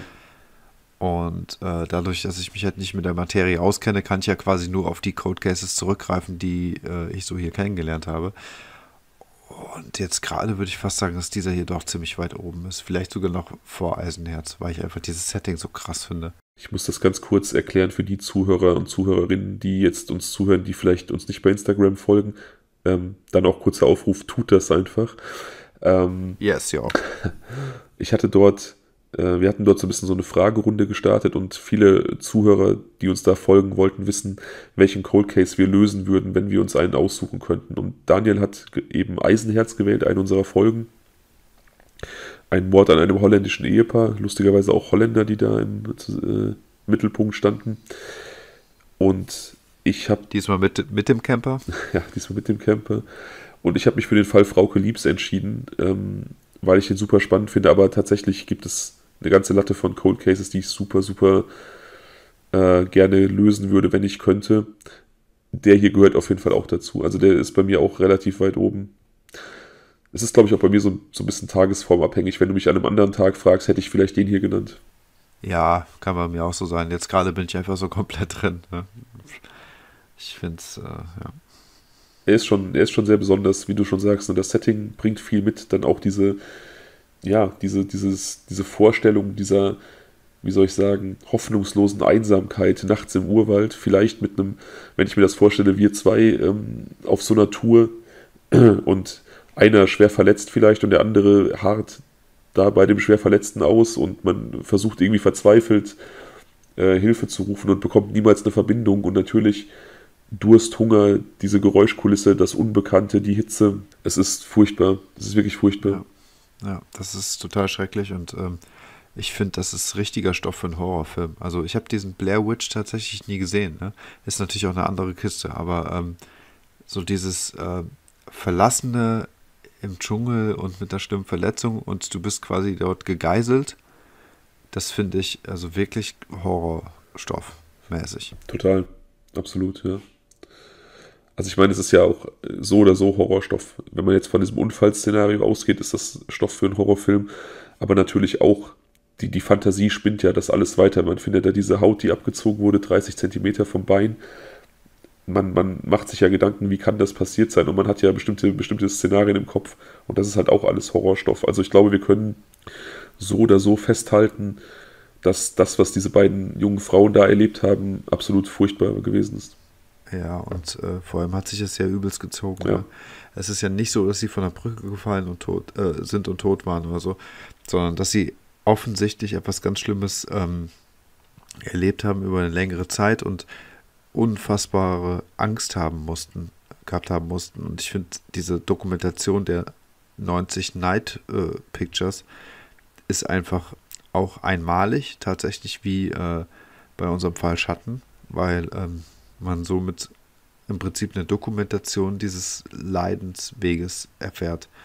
Und das ist schon, ähm, glaube ich, eine Besonderheit. Ja, also das ist ja, das habe ich ja eben gesagt, das ist natürlich unserer, unserer Gesellschaft geschuldet und den technischen Möglichkeiten heutzutage. Aber man ist einfach in manchen Fällen sehr, sehr nah dran. Es gab ja beispielsweise auch diesen Attentäter von Christchurch, der seine Taten direkt gestreamt hat. Also näher dran geht es natürlich nicht mehr. Aber ich finde sowas hier, sowas hier oder wie auch bei Schatten, diesen Snapchat-Morden, das, das finde ich fast noch gruseliger. Also dieses Auffinden dieser, dieser Handys und dieser Kamera, wo man dann diese Fotos findet und halt nur so halbwegs rekonstruieren kann, was es damit auf sich hat. Ja, absolut. Also, ähm, ja, und also nochmal irgendwie 88 oder 87 Bilder, die einfach ins Dunkle rein fotografiert wurden. In der Nacht, das ist ja schon. Gab es eigentlich nach diesen 90 Bildern noch weitere Bilder bei Tageslicht? Nein. Also man kann davon ausgehen, dass die Kamera immer nur nachts benutzt wurde und ähm, deswegen, wie gesagt, ist die Überlegung, wollte man damit die Gegend beleuchten, um vielleicht einen Weg zu finden oder wollte man, wie du auch schon gesagt hast, äh, vielleicht wilde Tiere damit fernhalten oder wollte man vielleicht den potenziellen Suchenden irgendwelche Signale geben? Ja, und jetzt sind wir wieder bei dieser Geschichte mit diesem gelöschten Bild. Du hast ja gesagt, möglicherweise war auf diesem Bild jemand drauf, der das nicht wollte. Ähm, dieses äh, eine Bild mit den roten Haaren aus nächster Entfernung, das ist aber jetzt nicht 508 oder 510, ne? Das nein, nein, das ist, äh, ist äh, deutlich. Okay. Also diese, diese, diese ähm, 508 ist das letzte Tagbild vom El Pianista von diesem ersten Vierten und 509, also da ist der Wechsel 510 ist das erste Nachtbild. Also man weiß nicht, war 509 jetzt noch ein äh, Tagbild vom El Pianista oder markiert das den Wechsel zu den Nachtbildern, aber danach beginnen die Nachtbilder. Okay, okay, okay, okay. Na okay, nee, dann hatte ich noch so eine andere Theorie, aber die kann ich jetzt verwerfen an der Stelle. Ja, ist also auf jeden Fall total krass und ähm, lässt ganz viel Raum zu spekulieren und ähm, also ich finde diese, dieses ganze, diese Rahmenbedingungen sehr beklemmend, muss ich sagen. Mega. Mega. Natürlich auch einfach, weil es so eine, so eine Sache ist, also das ist uns nicht vertraut. Es ist eine Umgebung, die uns nicht vertraut ist. Das ist natürlich dann schon mal so ein bisschen beängstigend.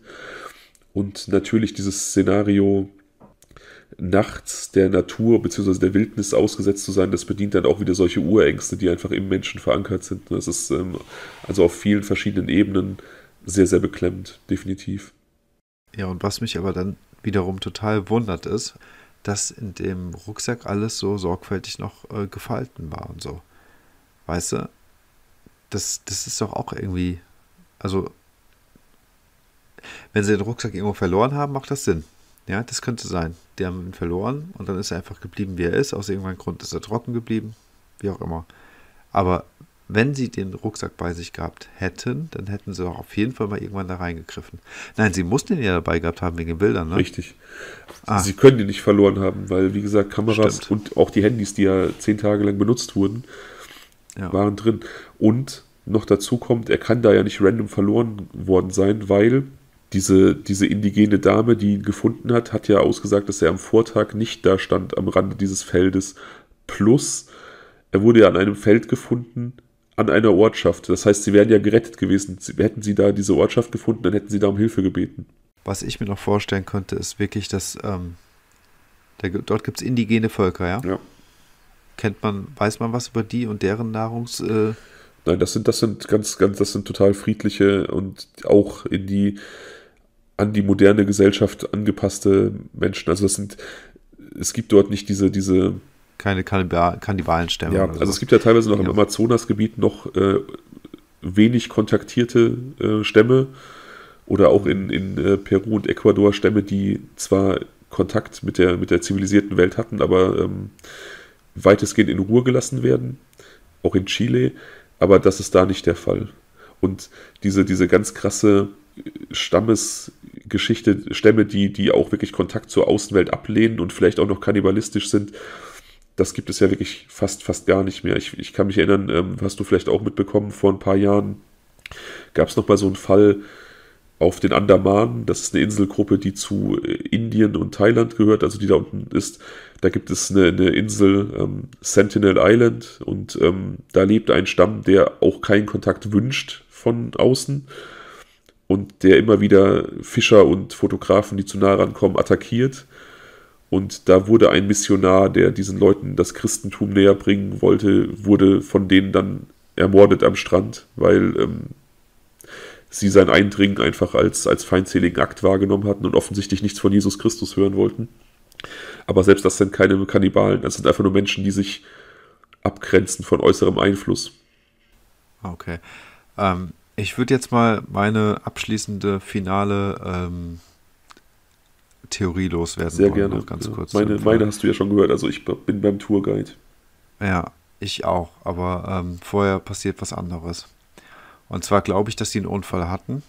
Ich glaube, dass es mit dem Unfall alles so weit war, wie ich das eben gesagt habe. Und ich glaube, dass der Tourguide Junior dort eine Rolle spielt. Und dass er so ein bisschen der kleine Psychopath ist im Prinzip. Der hat die möglicherweise gefunden und hat irgendwelche seltsamen Dinge mit denen angestellt. Und das hat der Senior irgendwann festgestellt, was dazu geführt hat. Ähm, oder der Junior war eine Zeit lang auch verschwunden, was der Grund sein könnte, warum er unbedingt wissen wollte, welchen Weg die beiden eingeschlagen ähm, haben, um quasi seinen, seinem Sohn auf die Schliche zu kommen oder was auch immer. Vielleicht hat er ihn schon ertappt, ich weiß es nicht. Jedenfalls glaube ich, dass der all diese kleinen Mosaike irgendwie von seinem Sohn bekommen hat. Und quasi, um seine Weste reinzuwaschen, das so platziert hat, damit es so aussieht, als ob es irgendwas anderes wäre, als es vielleicht eigentlich war. Also ich glaube, es war ein Unfall und ich glaube, dann gerieten sie an den Falschen. Ob es jetzt wirklich der Sohn war, will ich jetzt, weiß ich jetzt nicht unbedingt, aber ähm, irgendwie ist es schon seltsam, dass der Senior Tourguide eben all diese Dinge findet. Und ja, so ungefähr wäre meine Theorie. Das klingt sehr sinnvoll. Bisschen, ja, aber sehr gewagt auch, also das weiß ich. Ich finde ich finde, finde nicht unbedingt. Also es gibt ja durchaus Punkte, die für Unfall sprechen, durchaus, aber halt auch Sachen, die definitiv ähm, eine Fremdeinwirkung beweisen. Insofern ist das ein, durchaus ein Szenario, was, was sehr gut möglich ist, dass wir erst ein Unfallszenario haben und jemand das dann ausgenutzt hat und daraufhin dann irgendwas anderes gemacht hat. Ähm, und ja, das ergibt Sinn. Und wie gesagt, warum dann nicht dieser Tourguide? Wir erinnern uns ja auch, dass dieses Alto Romero, dieser Ort, wo der Rucksack gefunden wurde, dort besitzt dieser Tourguide eine kleine Farm. Also auch das würde dann wieder Sinn ergeben. Ja, absolut. Ja. Okay, also ich finde, das war ein richtig krasser Fall. Denn, äh, ja, der war richtig, richtig gut. Ich liebe den auch, ja. Also ich habe ich hab noch so ein paar Cold Cases auf der Liste, die ich total spannend finde und wo ich mich unfassbar drauf freue, wie so ein kleines Kind, wenn ich dran denke, so äh, die zu erzählen. Ähm, aber der hier, den, der ist, wie gesagt, aus diversen Gründen sehr, sehr spannend. Ich mache jetzt mal einen harten Cut, gucke bei Instagram, wie die, deine kleine Live-Befragung aussieht, ob da überhaupt irgendwas sich getan ich, hat. Ich, ich befürchte nicht, ist wahrscheinlich zu spät. Doch, es haben relativ viele Leute reagiert und. Nein, echt ja, geil. Ja. Und glasklarer Sieger ist ähm, B. Geil, das passt jetzt eigentlich irgendwie witzigerweise ganz gut rein. Okay, Fabian, bist du bereit? Ich bin absolut bereit, ja. Kannst du dieses, äh, dieses äh, El Mirador-Erlebnis kurz beiseite schieben aus deinem Kopf? Ich werde es versuchen, ja. Kannst du deine Pulle nochmal in die Hand nehmen? Ja. Nochmal einen Schluck trinken, nee, um äh, frisch zu sein. Ja. Die ist schon leer, okay. Natürlich. Ist, okay, wir sind schon lange dabei. Alles klar, Leute. Ihr habt euch einheitlich entschieden, mehrheitlich entschieden für was wäre, wenn Menschen mit Tieren sprechen könnten? Oh ja. Also was dann, was dann für mich wäre oder was du, oder was sollst du? Soll ich jetzt ein generelles Szenario erzählen oder was ich dann tun würde? Das Problem mit was wäre, wenn Sätzen ist, dass man halt sehr schnell in solchen, äh, in solche fiktiven Realitäten oder sowas eintaucht, äh, die quasi immer das eigene Handeln auch in Frage stellen.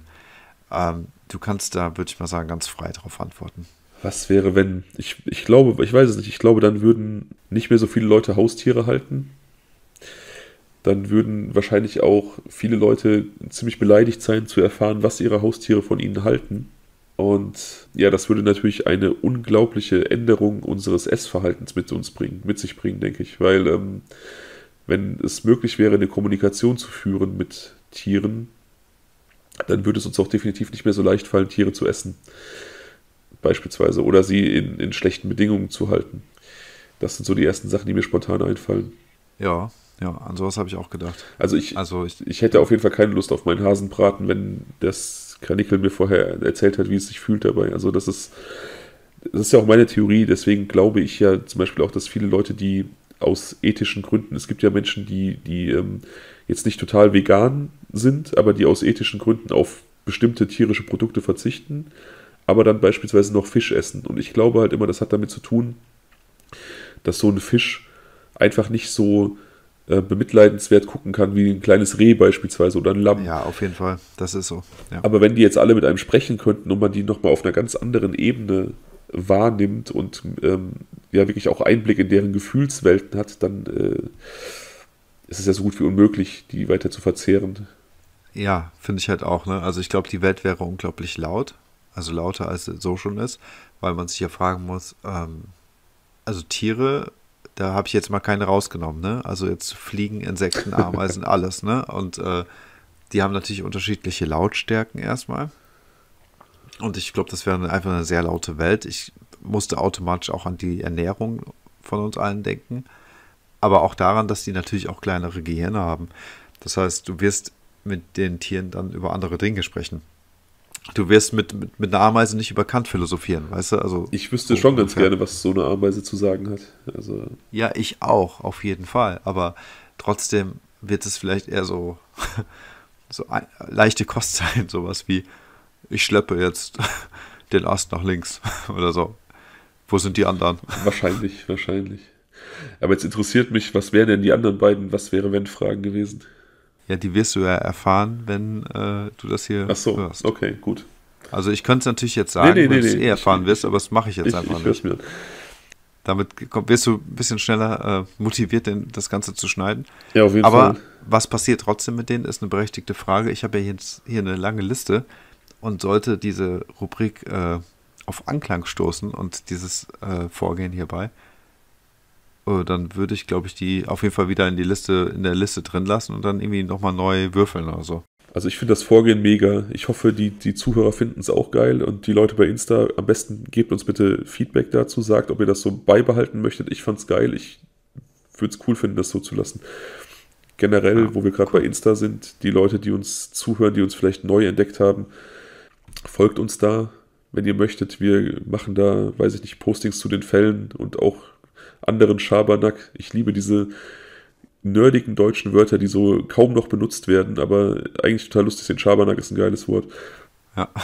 Wie gesagt, folgt uns gerne, gebt uns Feedback, wir freuen uns über alles. Wir haben vergessen, Voll. uns am Anfang vorzustellen, fällt mir da auf, weil ich so drin war in deinem, was, was wird Daniel heute präsentieren, was wird er mir antun. Ah. Da sind wir von unserer Professionalität in Anführungsstrichen kurz abgerutscht. Oh ja, stimmt. Äh, aber holen wir jetzt auch nicht mehr nach. Ne? Nee, ich glaube, das sollte jetzt klar sein. Das macht absolut gar keinen Sinn. Die Leute haben jetzt gemerkt, dass es True Crime ist. Ja, ja genau. Irgendwie sowas, ja. Und ja. Den Rest äh, hören sie vielleicht aus unseren Stimmen und ja. Ich denke, das wird schon klar gehen. Ja, aber mega. Also du hast auf jeden Fall, das war eine richtig coole Idee von dir. Ich will das auf jeden Fall so beibehalten. Ich hoffe, die Leute finden es cool. Und ja, wie gesagt, zum Fall ist alles gesagt. Unsere Theorien decken sich. Ich finde deine, deine, ähm, deine, dein Input auch sehr geil, weil ich hatte bisher immer nur dieses Mordszenario. Ich habe das noch nie so verknüpft mit erst Unfall, dann Verbrechen. Aber das macht absolut Sinn. Ja, da sind wir eigentlich durch für heute. Sind wir durch für heute. Also ich bin auf jeden Fall froh, nicht nochmal so ein Schlechter zu erleben, so ein Charavito und ähm, dass wir jetzt im Prinzip eine in Anführungsstrichen laue Kost hatten. Wobei ich das also von diesem, ja, wie gesagt, Unheimlichkeitsfaktor einfach viel krasser als andere unserer Folgen fand. Ja, ja, ja. Es sind manchmal auch die, die Fälle, wo einfach nicht, äh, weiß ich nicht, 15 Leute mit einer Kettensäge zerlegt werden, wo halt irgendwie subtilere Dinge passieren, die einen irgendwie viel mehr mitnehmen. Ne? Das ist, äh ja, weil du halt so sehr hierbei die Dauer dieses, äh, dieses, dieses Leidensweges halt äh, mitverfolgst und aber gleichzeitig auch diese Bilder bekommst. Und das sind ja alles diese Nachtbilder. Ich habe jetzt nur zwei gesehen von dir, ne? Aber das ist ja alles quasi wie aus den Augen von Lesern fotografiert. Ja. Weißt du? Und natürlich das auch. Waren, also, hm? Sorry, ich wollte dich nicht unterbrechen. Mach weiter. Nee, alles gut. Also, das ist das, was ich hier so unglaublich düster und ähm, ja, atmosphärisch finde. Ja, und natürlich auch, dass wir mitgenommen werden auf diese Reise wie in einem Film. Wir lernen die Protagonistinnen kennen, wir sehen diese Urlaubsfotos von den zwei sympathische junge Frauen so am Anfang ihres Lebens, die halt einfach eine gute Zeit haben und dann einfach dieser, dieser krasse Cut. Ne? Ja, genau, genau. Das stimmt, das ist die Perspektive der Opfer, ne? Das ist jetzt bei, äh, bei, bei anderen Fällen anders. Ja ja, cool. Auf jeden Fall, dass du mein Gast warst wieder. das ist eigentlich doof, dass du mein Gast warst. Was ist das? Du bist ja. Ja, es ist ja schon. Ja, alles gut, aber ist ja irgendwie auch so. Aber ähm, ja, auf jeden Fall cool, dass du wieder zugehört hast. So. Sehr gerne.